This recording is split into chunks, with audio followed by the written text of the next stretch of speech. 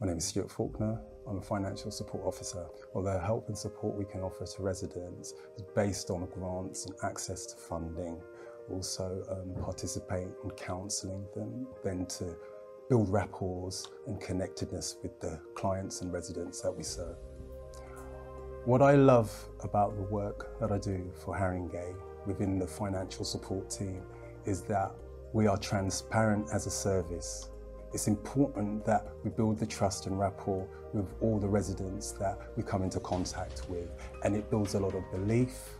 We develop as individuals in a collective and that shines through and reflects on the resident also.